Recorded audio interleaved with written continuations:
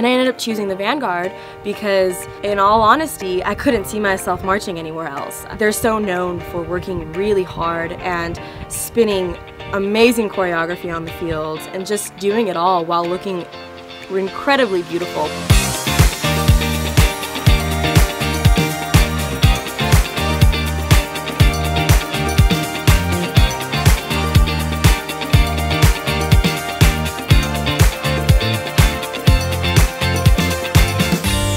I can only do drum corps for a certain amount of time, so I'm gonna do it.